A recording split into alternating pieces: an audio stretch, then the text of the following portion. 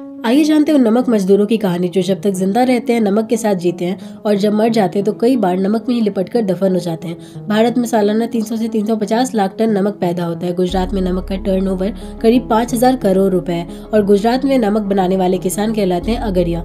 अगरिया मजदूरों की संख्या पचास हज़ार से ज़्यादा है। ये किसान दूसरों की ज़मीन और वहीं बनाए गए एक कमरे में सब परिवार रहकर नमक निकालने की मजदूरी करते हैं। यहाँ एक टन नमक निकालने पर इन लोगों को लगभग पचास रूपए मिलते हैं। यानी जितने में आप एक या डेढ़ किलो नमक खरीदते हैं, उतने पैसे में ये अगरिया मजदूर एक हज़ार किलो नमक निकालते हैं। एक मजदूर परिवार एक सीज़न में ज़मीन और बारिश के आधार पर कई हज़ार टन नमक निकाल सकता है। दिन में कई घंटे नमक में गुजारने के बाद इन मजदूरों के पैर सख्त हो जाते हैं। ये पैर कुछ मामलों में इतने सख्त हो जाते हैं की मरने के बाद जब इनका शरीर जलाया जाता है तो सब तो जल जाता है, बस पैर नहीं जल पाते और वही पैर जिनसे नंगे पैर चलकर सालों साल वो हमारे लिए नमक बनाते हैं और अंत में नमक में ही उन्हें दफन कर दिया जाता है। सरकार से इन्हें कई बार जूते मिलते हैं, लेकिन वो जूते सिर्फ़ एक साल में खराब हो जाते हैं और फिर मजबूरन इन्हें खाली पैर ही काम करना पड़ता है। इसके अलावा लंबे समय तक नमक में रहने के कारण इनकी आँखों में भी बहुत जलन होती है और इनकी स्किन भी बहुत खराब हो जाती है।